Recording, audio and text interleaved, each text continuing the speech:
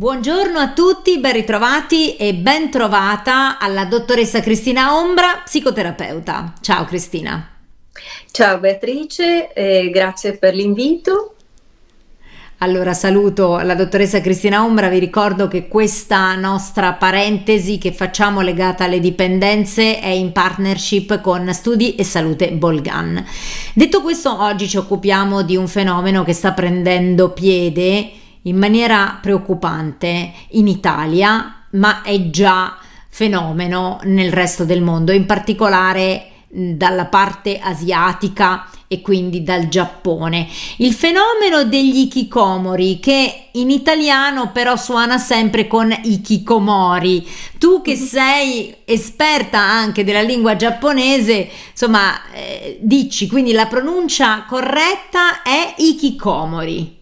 Sì, la pronuncia corretta è Kikomori e Kikomori è una parola che deriva dal gergo giapponese e che letteralmente significa stare in disparte.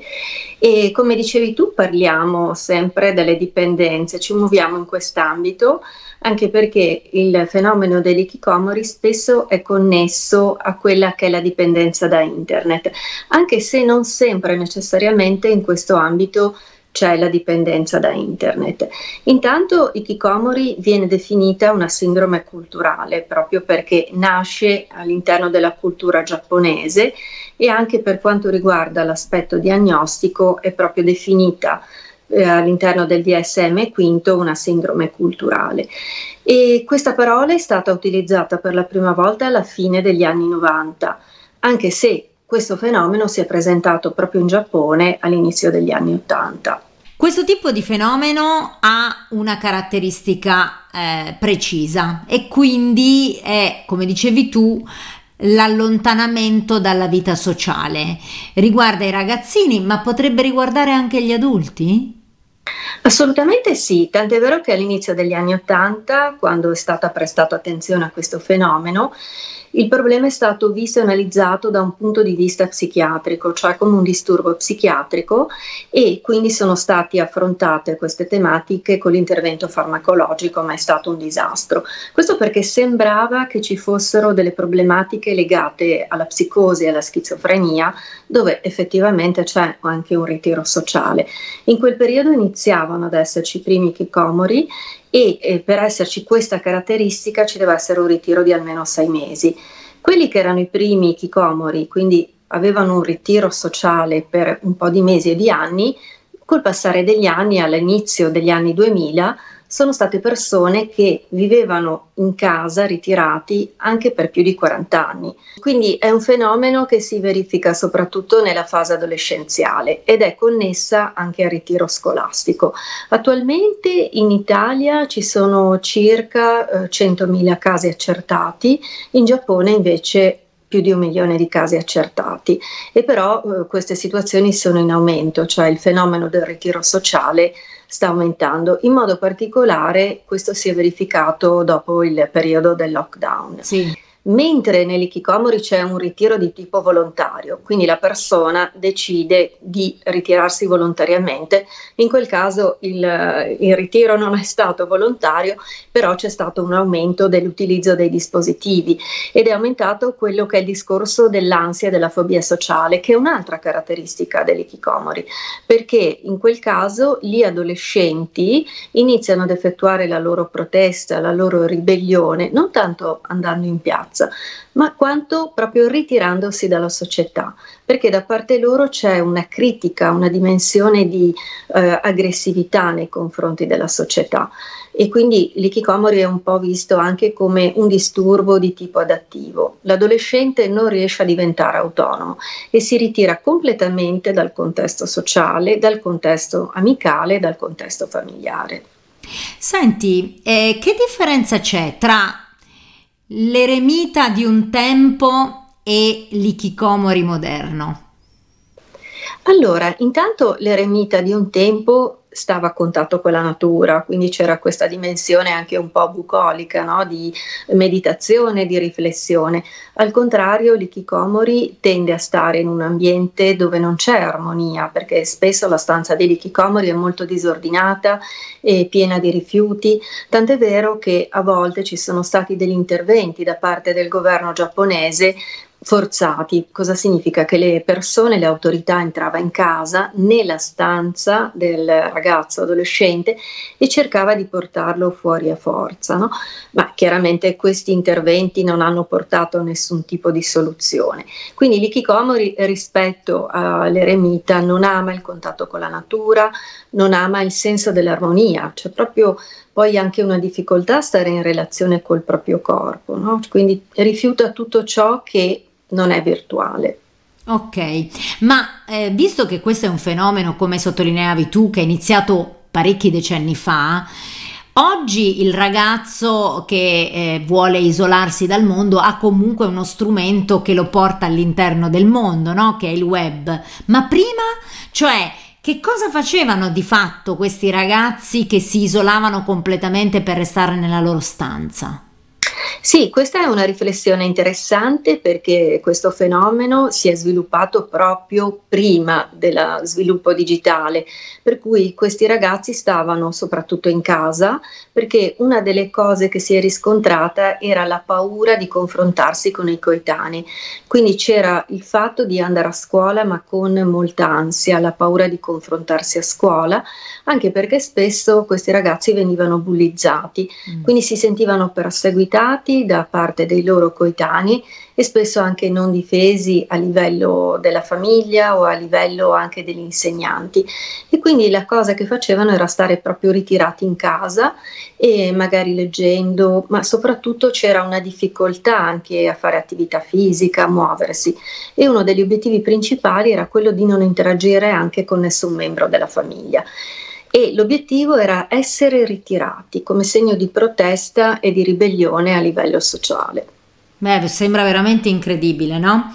Perché effettivamente, come dici tu, cioè un segno di protesta così forte, un genitore davanti a questo, insomma, si sente veramente impotente perché poi se nemmeno la polizia, come sottolineavi tu, riesce a a fare qualcosa o, es- o riesce a-, a, essere un deterrente, no? Perché magari un ragazzo, un adolescente guarda eh, che in casa entra la polizia, cioè quantomeno no, avere un po' di timore delle conseguenze di, di, di queste cose che poi voglio dire alla fine non ci sono reati, però eh, sempre eh, che è una sorta di imposizione che viene dall'alto. Quando invece un genitore si trova davanti a queste situazioni, come deve comportarsi? Allora sì, intanto è importante vedere che il braccio di ferro tra la famiglia e il ragazzo adolescente non può portare ad un risultato positivo. Quello che si effettua generalmente è utilizzare il loro stesso strumento, cioè connettere la persona online. Quindi si fa un lavoro di intermediazione per cui la famiglia eh, chiaramente è la prima a chiedere aiuto, però poi per effettuare un discorso di alleanza, di collaborazione con il ragazzo, con l'adolescente, è importante contattarlo online. E spesso che cosa accade? Proprio perché c'è anche una difficoltà a interagire col proprio corpo, il ragazzo che ha questo tipo di problematica tende a presentarsi anche coperto, incappucciato, proprio perché si nasconde, ha questa difficoltà anche a rapportarsi col proprio corpo. Teniamo conto che l'adolescenza è proprio anche una fase in cui c'è l'aspetto della mentalizzazione, quindi di prendere consapevolezza anche di quella che è l'aspetto della percezione corporea e spesso ci sono degli adolescenti che hanno delle difficoltà a rapportarsi con il loro corpo e c'è anche un aspetto legato allo sviluppo psicosessuale. Quindi bisogna rispettare e andare proprio con passi molto molto cauti e cercare di creare un po' di alleanza, poco per volta, senza assolutamente essere invadenti, perché quello che si rischia è una chiusura totale e allora poi è impossibile effettuare una collaborazione di qualsiasi tipo. Quindi insomma una sorta di fiducia che viene acquisita giorno dopo giorno.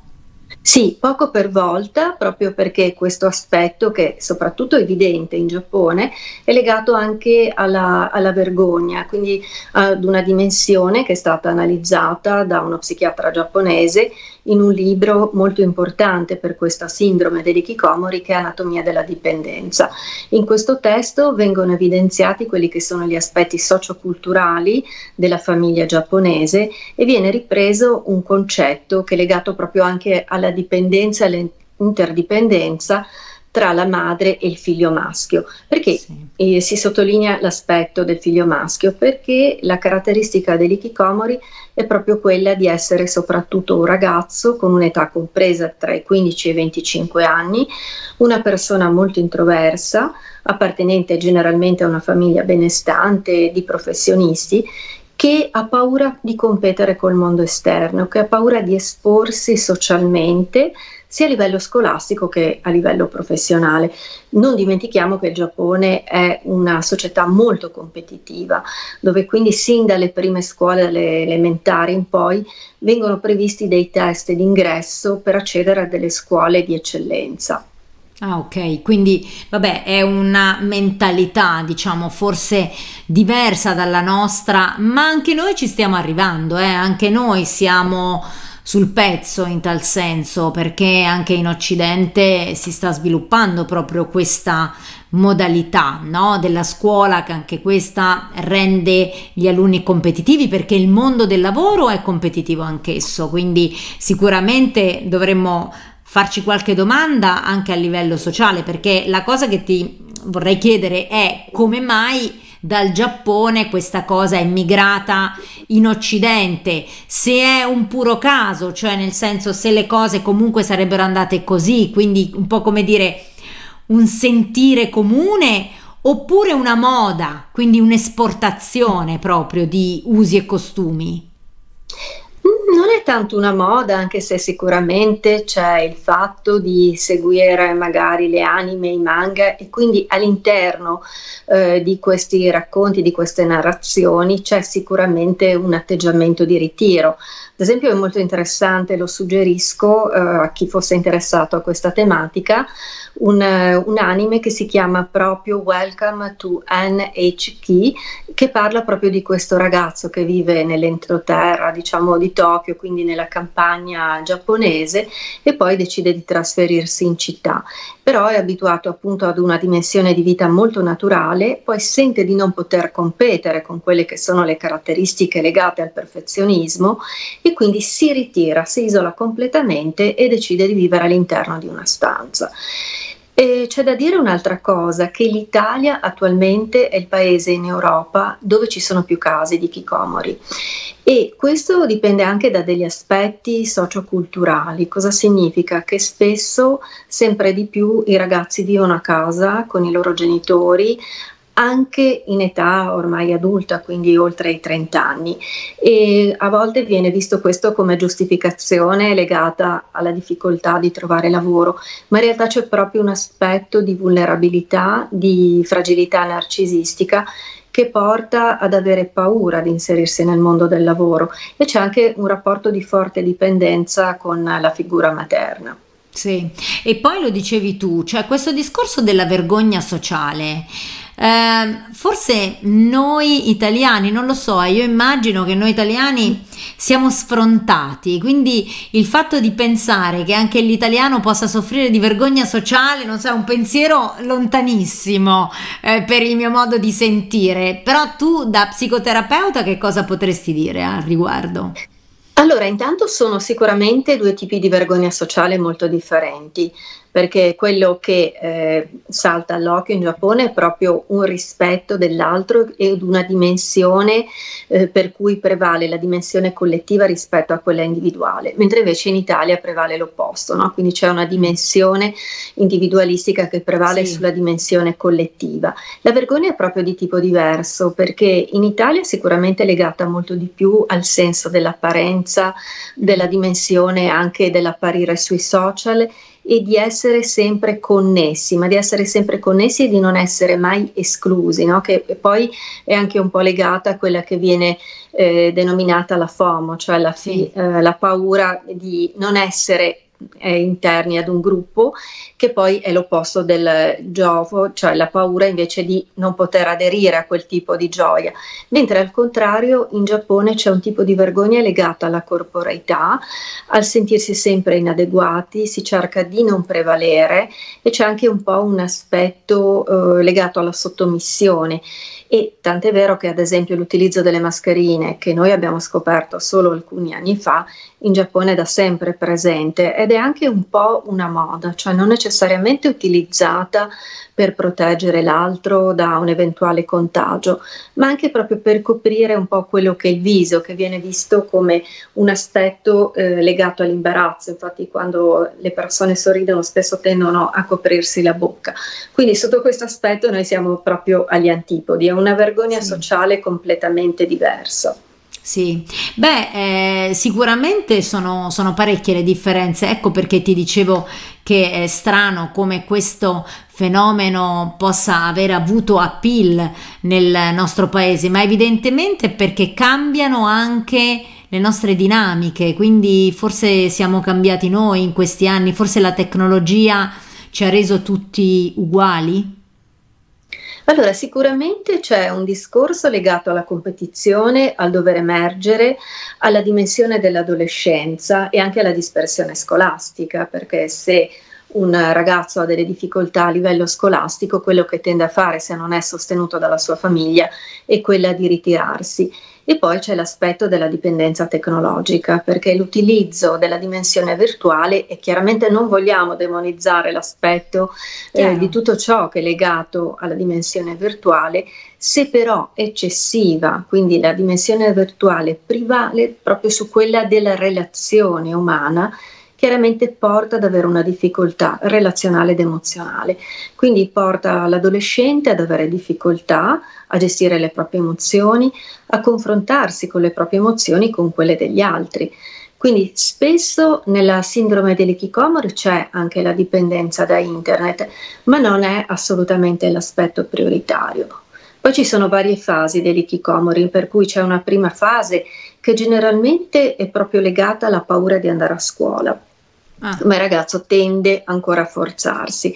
Poi c'è la seconda fase nella quale la persona non desidera, non ce la fa più ad andare a scuola e quindi evita il contatto a livello sociale.